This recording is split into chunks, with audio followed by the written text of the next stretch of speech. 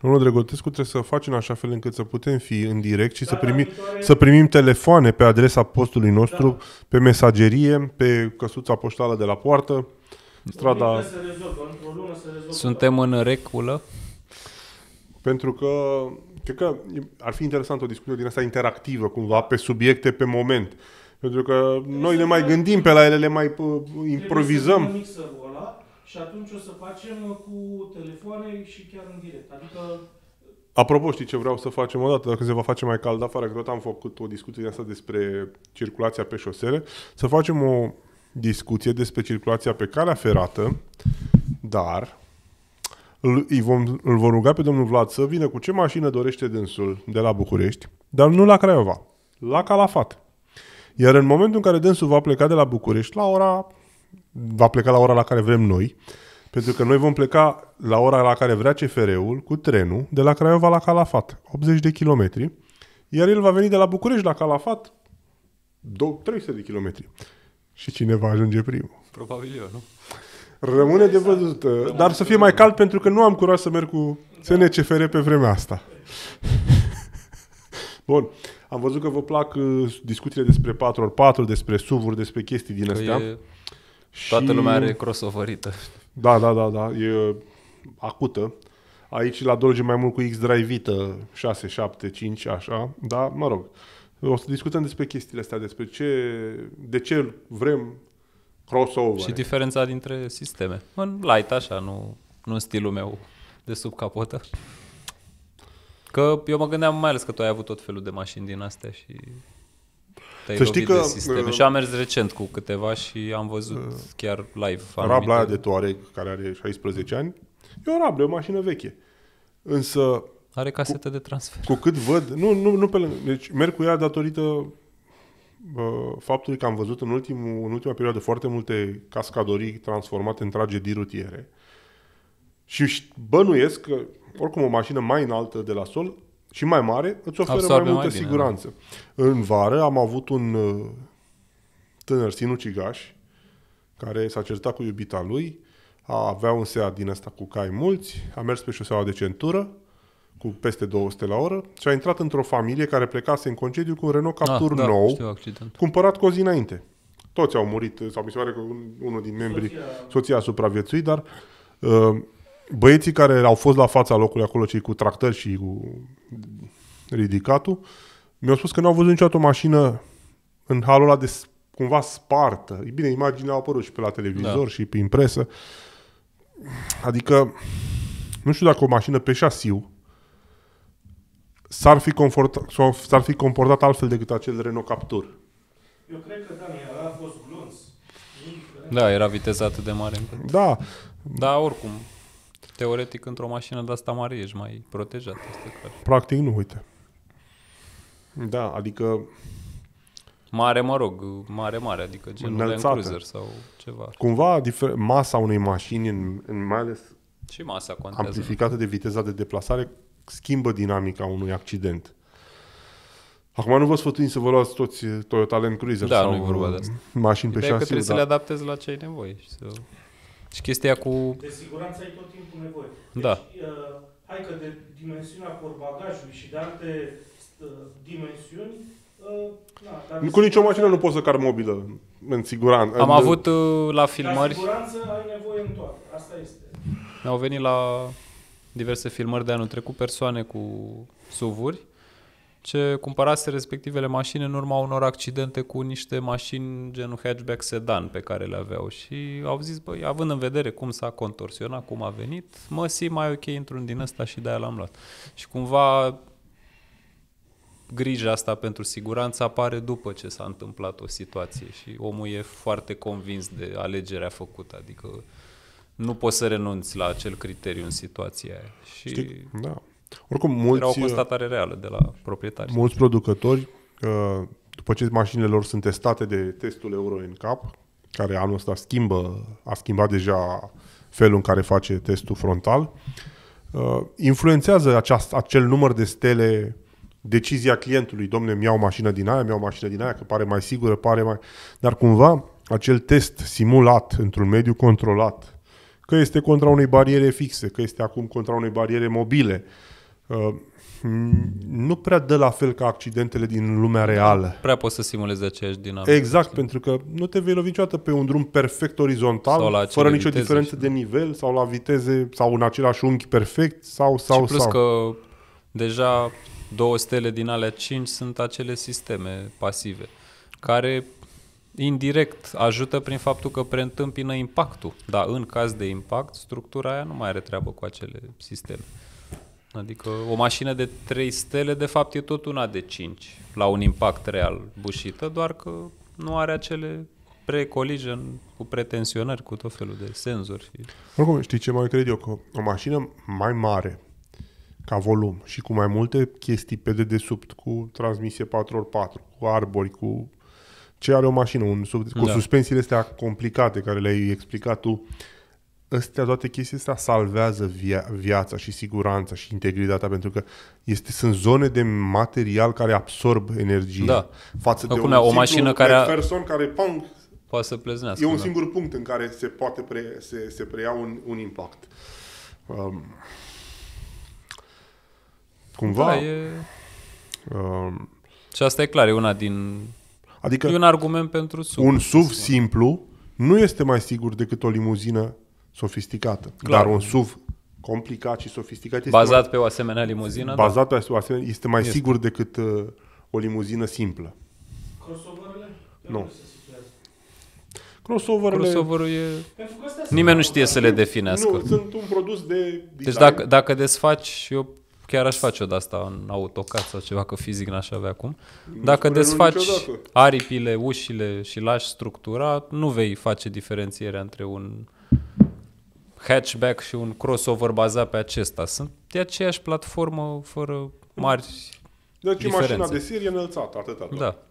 Anvelope mai mari, cursa, orientarea basculelor altfel, dar e același lucru. Adică când zici SUV sau crossover, mulți se gândesc că "A, e SUV, e din ăla de teren, e nu știu cum și n-are nicio legătură. Adică nu e. Asemănările sunt mai mult... uh, Da, și de asta de sunt foarte multe me- chestii de marketing. Și când o firmă își numește tehnologia într-un fel, are, să zic, 18 modele în producție. Dacă vei vedea acel cuvânt pus pe descriere sau pe portbagaj, de multe ori poate să n-aibă nicio legătură. Și acum putem să intrăm în domeniul tracțiunilor. Când zice acel all-wheel Oh. drive, generic înseamnă că cândva, nu neapărat tot timpul, trag toate roțile. Dar cum trag, cum e mecanismul, diferă absolut complet și inclusiv la un producător uh, intern. Adică, de exemplu, 4Motion, să spunem, montat pe un Golf, nu are nicio treabă cu un 4Motion de pe un Touareg.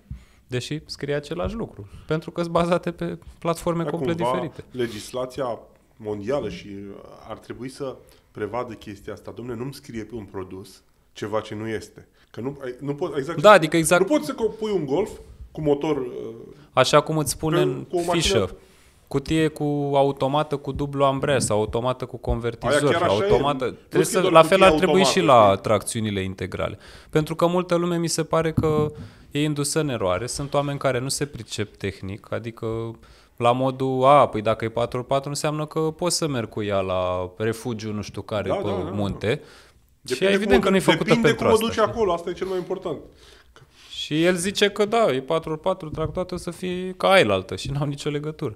Și cumva e o falsă senzație de Care ar fi siguranță. diferențele așa, în mare? Păi ideea e că ai odată, părerea mea e că atunci când o mașină în cabină are schimbător separat pentru caseta de transfer, este un 4x4 De acolo utilitar, să-i începe să spunem. fie 4x4. Adică ăla, aia este o mașină utilitară, care are tracțiunea făcută de așa natură să fie Și robustă dă- pentru teren Și dă șoferului posibilitatea, de a o posibilitatea, alege. da. Pentru că acolo poți bloca... În primul rând, casetă de transfer înseamnă că motorul trimite impuls întâi către acea casetă și din aia pleacă câte un arbore către fiecare punte. Și poți să ai blocant pe casetă, blocant pe spate, pe față de obicei n-ai nevoie.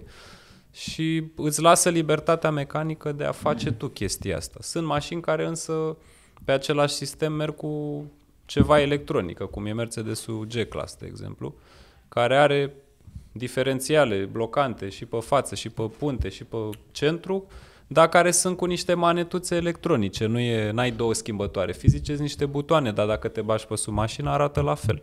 Și astea sunt mașini, nu știu, popular să le spunem mai spartane, Pseudo 4x4. pseudo 4x4, care au Vezi, știi că odată cu apariția sistemului SP Se simulează es- niște Sistemul SP se cam bate cap în cap cu un 4x4 adevărat.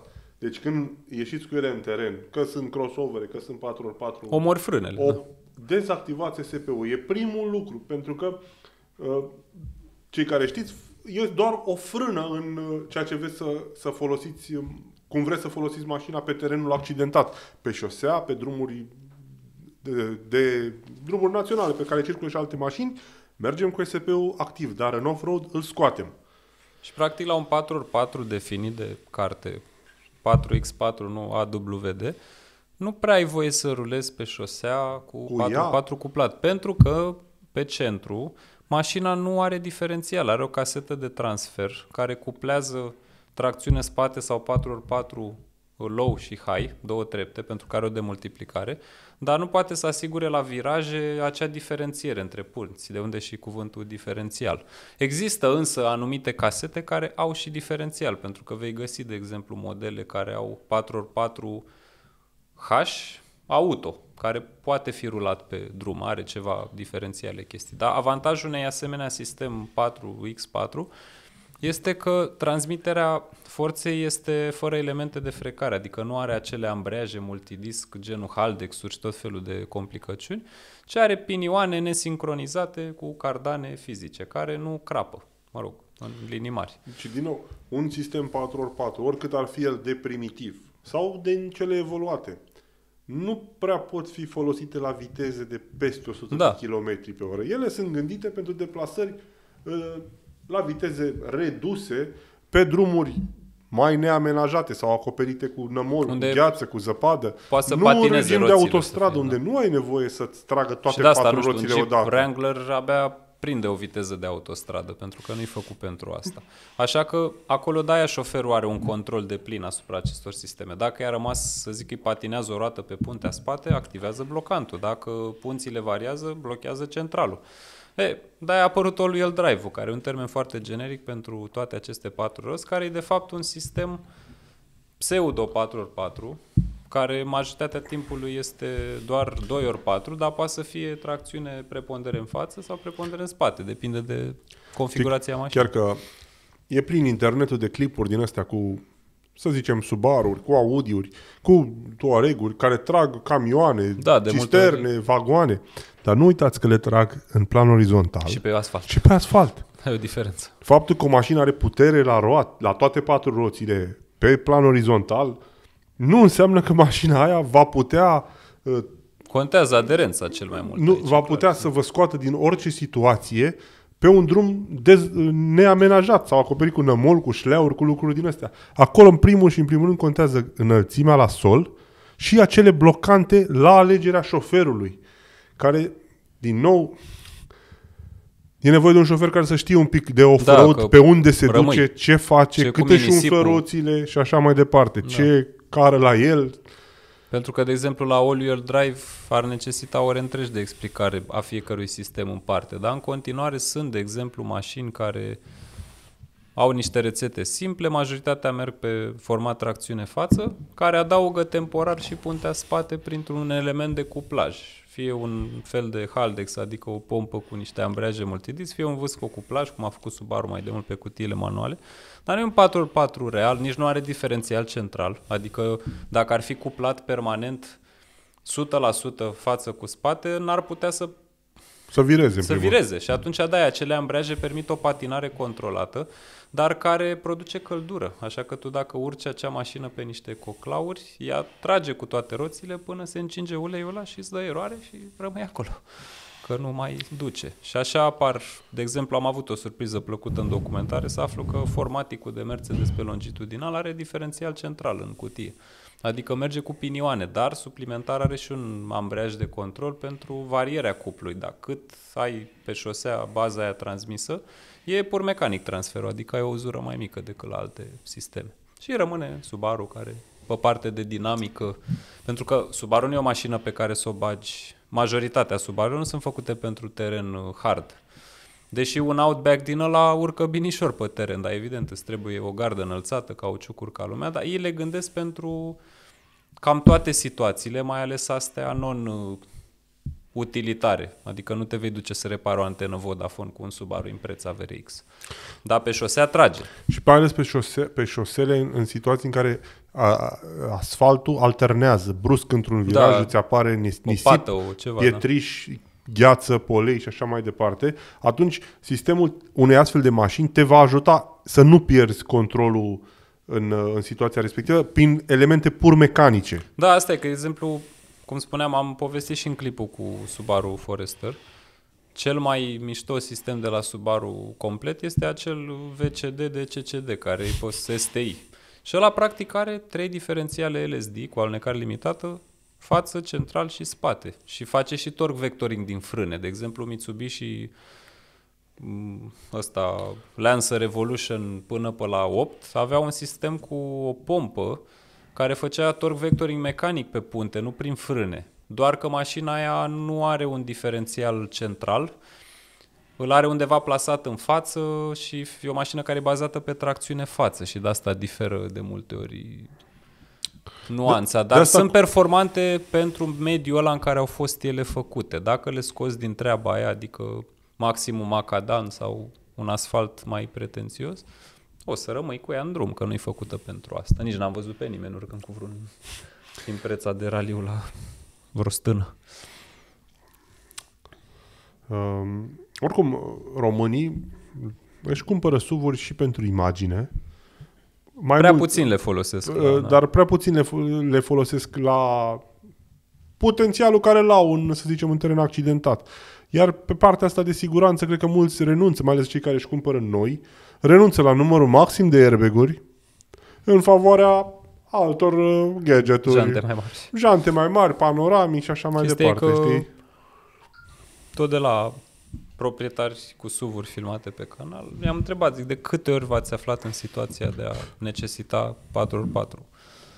Foarte mică, sub 10% din... Adică sunt oameni care zic, da, pentru 10-5% aia cât am nevoie de el, vreau acea opțiune, pentru că am o casă care e într-o pantă, care îngheață și așa mai departe. Dar, în mod normal, dacă stai la casă, în oraș, la bloc și doar vrei o mașină mai mare, Nu, ai nu nevoie e de neapărat patru. Poți să nevoie. o Și de cumperi asta doar cu nici tracțiune mașinile față. nu sunt făcute, cum, adică mulți și-ar dori aceste diferențiale cu alunecare limitată pe toate punțile, dar un diferențial din ăla costă ceva gen 1000 de euro, Plus că Și schimbă nu ai întreaga nevoie. arhitectura Da. mașinii pe dedesubt. dar n-ai nevoie de el, adică degeaba ți le montează pe mașină pentru că tu nu le folosești, sunt niște chestii care sunt redundante, adaugă o, o frână și un consum mărit. De exemplu, Subaru a considerat că trebuie ca roțile să fie antrenate toate permanent. Așa că sistem, nu există, la Subaru nu există 100% cuplu Față sau pe o spate. punte tot timpul și doar să intervină cândva și spatele. Nu, tot timpul există o cuplare, adică inclusiv la un plecat lin de pe loc, trag toate patru.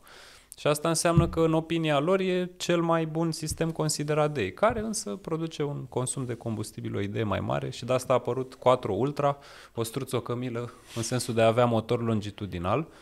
Nu mai e quattro torsen și are un mecanism care decuplează cardanul de la față și de la spate. Și mașina este pur tracțiune față în majoritatea timpului. Pentru noxe, norme, emisii și toate cele. Consum.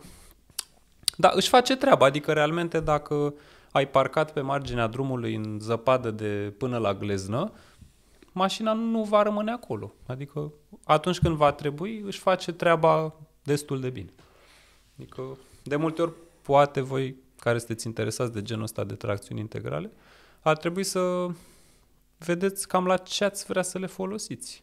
Oricum, Că o n-are rost mașină să dați poli- banii pe polivalentă sistemul ăla. nu există. Chit că N-ai cum, da. Audi a scos niște modele, Volvo a scos niște modele, Sunt niște prea multe brecuri preferințe, înălțate, da. dar nu, nu există o mașină care să meargă și tare pe stradă, să vireze și incredibil de stabil și să puteți merge Și cu să ea meargă și în teren. și pe teren accidentat. Deci sunt povești astea, povești de media, de publicitate din lumea auto și așa mai departe. Plus foarte mulți bani aceste modele care au niște Cred că prețuri știți cum e dacă astronomice. erau pe la jocurile video sau la sistemele audio, practic nu poți să dai la maxim toți parametrii. Tot timpul dacă ai mai ales control electronic pe ei, o să observi că dacă dai un parametru la maxim, o să scadă altul. Și cam așa e și cu mașina. Vrei viteză, ok, nu o să mai ai spațiu, că nu poți să faci mașina foarte mare și trebuie să fie mai aerodinamică. Vrei exact. gardă la sol, nu mai ai viteză maximă și tot felul de chestii din astea. Știi? Adică Oricum, e, nu eu, cred că își propune nimeni să facă genul ăsta de mașină oricum. Că... Ma, Toți, toți au încercat. Au încercat, Granzi, da. Nu au mai încercat merge. și încă încearcă și au reușit să vândă niște soluții din astea, dar care nu s-au devenit foarte eficiente pe termen lung, pentru că punând tot, toate, au o multitudine de subansamble din astea pe o mașină, vei face din acea mașină un mini submarin ca, ca necesitate Da, de sunt foarte mentenanță, grele. știi? Grele și scumpe, da. Da. Da, eu nu știu, noi, noi cam așa vedem situații. Mie mi se par fascinante tehnologia asta de tracțiune și mi-am pierdut multe nopți documentându-mă despre diversele casete de transfer și diferențiale și mi se pare genial să poți se învișa într-o chestie care este de mărimea unei doze din astea de cola, Da. o intrare și două ieșiri, adică să ai și pentru față și pentru spate și cu intrare de la motor și pur mecanic, nimic electronic, adică e cu tot felul de ambreiaje, cum e la noile Audi RS de până 2014 încoace. Există un diferențial central care nu mai e Torsen, ăla clasic T3 cu 60-40, se numește Crown Gear Center Differential pentru că pinioanele arată ca o coroană de rege. Și este mega simplu sistemul, pentru că el transmite cuplu 60 cu 40 fixat, are niște un pinion mai mare și unul mai mic și efectul ăla de cuplu pe care l-am explicat în video cu Subaru Forester, efectul de pârghie al cuplului, dar în momentul în care presiunea crește, adică cuplu dat de motor e puternic, f- acele foi se despart, pinioanele, și presează în carcasă în exterior niște plăcuțe de ambreiaj multidisc. Și alea practic încep și freacă din ce în ce mai tare și așa se duce splitul ăla de cuplu pe părți. În funcție de care din părți patinează, cuplu se duce către cealaltă punte. Și totul pur mecanic, deci mi se pare genial să poți să faci ceva așa fără o intervenție a unui calculator. Dar e nuțul scump, adică o să-ți vină pe o mașină care costă 70-80 de mii. Plus că necesită mentenanță În timp va necesa. uh, Necesită, da. dedicate cu uleiuri speciale, Mai ales cu Haldex-ul ăsta cu schimbate pompe. periodic, nu numai la Neapărat. kilometri, cât și la anotimpuri și mulți factori de genul ăsta. Uh, Da, așa că, nu știu, sfatul nostru ar fi să cumpărați mașini cât mai cumpărați, sigure, da, cu tehnologie sigure și, din asta adică care... drămuiți-vă banii pe ceea ce aveți nevoie. Dacă, de exemplu, la ce vorbim probabil în oraș, riscul unui accident la viteză mare e mai mic decât în afară. E clar că poți să ții o mașină mică de oraș pentru Cu multe airbag deplasare cu oricum. și, cât sau mai cu multe, numărul da. maxim de airbag-uri care Inclusiv ți-l de uh, genunchi. oferă Dar dacă producător. îți iei o mașină de familie cu concedii și mers pe drumuri riscante, cam ar trebui să te intereseze siguranța mai mult decât uh, dacă are, nu știu, Panoramic. celeron sau LED-uri și panoramic și chestia asta. Și Da. chiar, uite, eu mă gândeam de multe ori la panoramicul ăla, dacă, Doamne ferește, te răstorn cu mașina. Că de multe ori ai reflexul să pui mâna în tavan, să te aperi de cădere când ești pe dos și geamul ăla se va sparge și tu o să ai mâinile în cioburi peste pe asfalt, adică e, Doamne ferește. Nu știu, bănuiesc că sunt testate mecanismele, dar E totuși o ideal ar sticlă, fi îți să dai fie tablă acolo, nu... Da, cam asta ar fi sesiunea de astăzi. seama. Da. Uh, Și domnul- poate o să fac un video tehnic odată despre casetele astea, dar chiar sunt curios cum vedeți voi materialul. Și am mai acoperit pe parcursul mașinilor, așa că există material pe canal în sensul ăsta. Da, vedem. E timp. Apropo chiar, știi că să mai, o mai lungim două minute. Sunt modele de jeepuri Grand Cherokee și de camionete Toyota care nu trec testul elanului. Pentru că sunt mașini pe șasiu, Și sunt cu, grele. grele, cu sisteme 4x4 adevărate, care nu pot face acele Da, probe adică ele nu dinamice sunt de făcute slalom. pentru genul ăla de... Exact. Că nu Și faci slalom la cu Grand betoniera. Cherokee- La Grand Cherokee scrie, scrie pe parasolarul șoferului să nu faci manevre bruște. Că se poate și plus răsturna. că și la, la americane am văzut chestia asta și când am filmat uh, Rubiconul ăla, ai tot așa trei tipuri de tracțiune. Quadra drive, quadra La track lift și și, quadra- quadra, și alea sunt total diferite și au destinații diferite. Adică trebuie să îți dai seama ce conduci. Asta e situația. Da, Cam atât. Mai Vor, vor. apărem, mai apărem. mai apare.